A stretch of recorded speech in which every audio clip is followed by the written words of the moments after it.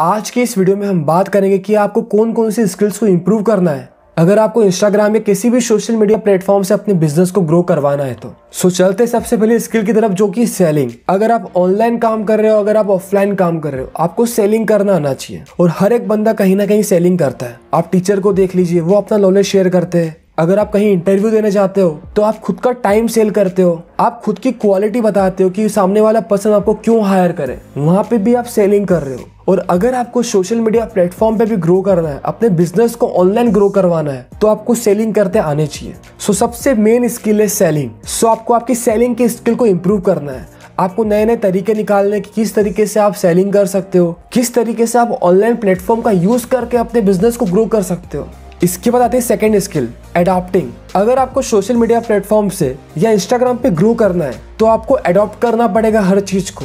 जो भी technological changes हो रहे उसको अडॉप्ट करना पड़ेगा. जो भी अपडेट्स हो रहे उसको अडॉप्ट करना पड़ेगा. जो भी सोशल मीडिया प्लेटफॉर्म अपनी एल्गोरिथम को चेंज कर रहा है उसके अकॉर्डिंग अडॉप्ट करना पड़ेगा और अपने कंटेंट को मॉडिफाई करना पड़ेगा जिससे उसकी रीच बढ़े। सो so, अडॉप्टिंग की बहुत ज़्यादा इंपॉर्टेंट स्किल है जिसको आपको इम्प्रूव करना है। इसके बाद आती है थर्ड स्किल जो कि रिसर्च जब भी आप कंटेंट को क्रिएट करते हो तो आप कुछ रिसर्च करते हो कि आप इसमें क्या लिख सकते हो क्या बोल सकते हो। सो so, रिसर्च की भी स्किल्स आपके पास होनी चाहिए। इसके बाद आती है fourth skill analytic skill analytic मतलब जब भी आप आपके सोशल मीडिया प्लेटफॉर्म पे जाओगे तो आपको एनालिटिक का एक ऑप्शन दिखेगा, जहाँ पे आपके सोशल मीडिया प्लेटफॉर्म के सारे एनालिटिक्स होंगे कि आपके कितने फॉलोवर्स हैं, कितने फॉलोवर्स गेन हुए, कितने फॉलोवर लूज हुए, कितना एंगेजमेंट आया, कौन सी पोस्ट ज़्यादा एंगेज करी, कितने लाइक्स आए, कितने शेयर आए, कितने कमेंट्स आए, कितने वेबसाइट के क्लिक हुए, कितने इंप्रेशन आए। मतलब जितनी भी इंपॉर्टेंट इन्फॉर्मेशन है, वो आपको सारी मिल जाती है। और अगर आपने आपके एनालिटिक की स्किल को इम्प्रूव कर लिया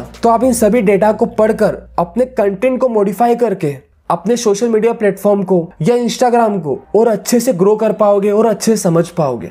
आप आपके ऑडियंस को समझ पाओगे कि आपकी ऑडियंस को क्या अच्छा लग रहा है। ये सारी इन्फॉर्मेशन आपको एनालिटिक्स से मिलेगी। अब हम चलते हैं फिफ्थ स्किल की तरफ़, जो कि डिज़ाइनिंग और क्रिएटिविटी जब भी आप सोशल मीडिया प्लेटफॉर्म पे काम करते हो इंस्टाग्राम पे काम करते हो सो आप कंटेंट को क्रिएट करते हो। अब कंटेंट को क्रिएट करने में आपको रिसर्च लगती है डिज़ाइनिंग एलिमेंट्स लगते हैं, आपकी क्रिएटिविटी लगती है। सो आपको डिज़ाइनिंग और क्रिएटिविटी को भी इम्प्रूव करना है। आप डिज़ाइनिंग टूल्स यूज़ कर सकते हो, जैसे कि कैनवा हो गया पिक्स हो गया, और बहुत सारे टूल्स है जिससे आप अच्छा कंटेंट क्रिएट कर सकते हो। इसके बाद आती है सिक्स स्किल नेटवर्किंग आपको नेटवर्किंग करते भी आनी चाहिए। आपको दूसरे पेजेस से अप्रोच करना, उनके थ्रू अपने कंटेंट को प्रमोट कराना क्रॉस प्रमोशन करवाना कोलेब्रेशन करना, ये सारी चीज़ें नेटवर्किंग के अंदर आती है। सो आपको नेटवर्किंग करते भी आनी चाहिए। इसके बाद आती है last skill copy writing basically copy writing मतलब किसी भी प्रोडक्ट एंड सर्विस को ऑनलाइन एडवर्टाइज करवाना अपने शब्दों के दम पर।